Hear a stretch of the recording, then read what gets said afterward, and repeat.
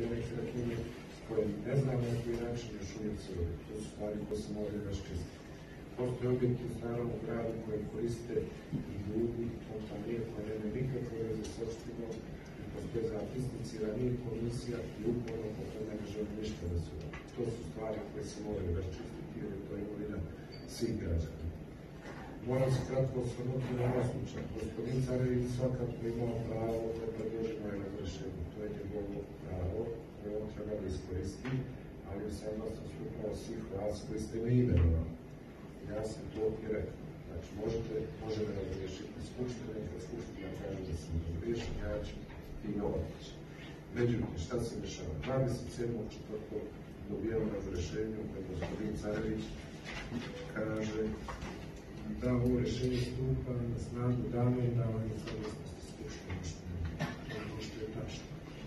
Međutim, 18.5. u momentu kada su već bile zakazane ove dvije skupštine, donosi se drugo rešenje, antidatirano na isti datum, jako sam u među vremenu bio u prostorijama Skupštine opštine, gdje on kaže da sam sebe daje saglasnost na moje razrešenje. Odnosno da sebe preuzima funkciju na Skupštine opštine.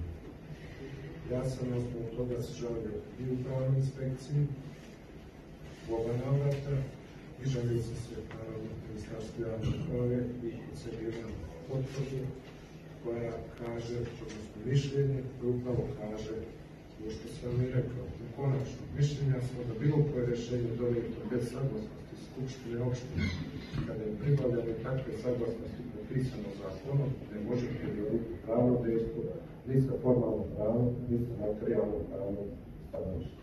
O ovome sam svakako upozoravao koje se ustanoviti i dozvoljeni saglasno određene dopise, i ono sigurno znam da po drugo rečenje,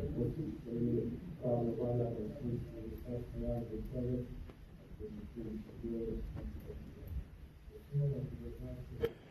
kad nešto radite, to je da radite onda dan, kada se donosi određeno.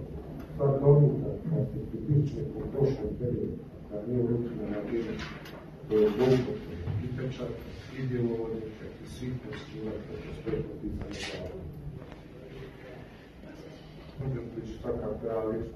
to,